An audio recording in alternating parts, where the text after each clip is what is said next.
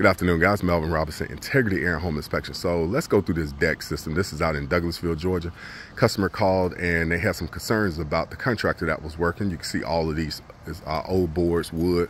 Uh, I mean, that's a lot of wood. Probably, uh, I don't even want to count the amount of money over there, but uh, they actually had them to uh, take it down over off of this part over here because they didn't like the way it looked.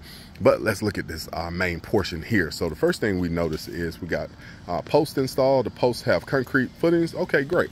But we don't have any type of base installed. Any concrete footing that is poured needs to have a base and needs to have a that base secured properly with that with deck nails and also you can see here we got joists that are installed. And they got joist tape but that looks good. But every joist is off. We got uh, 13 and some change on there 13 and a quarter.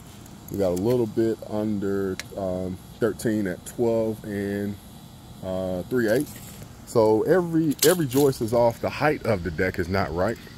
I don't know what kind of laser system they use but uh, they make tools in order to get that right. So looking at this uh, back portion here, we should have some type of cantilever system, uh, maybe, or they should have poured another post to try to make sure that this uh, lines up and the weight transfer will be properly uh, done on here.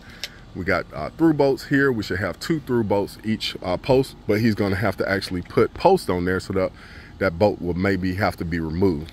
All right, looking at the joists up here, you can see that the joists were installed uh, diagonal, and that is definitely not correct. We want to make sure that these are minimum uh, 12 to 16 inches on center, going straight from the house to the back wall. And uh, it may not be a problem, but we can see that he actually drilled through with that uh, carriage bolt up there.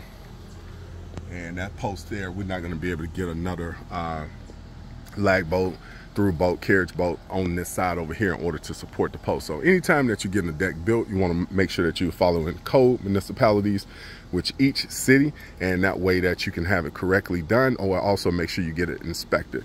And looking back at the joist hangers, we got deck screws, and that should be deck nails instead of having that in that system. So a lot of money spent, a lot of money wasted. Give us a call if you guys have any concerns. We can come out, check it out. Melvin Robinson, Integrity Air Home Inspection. Have a great day.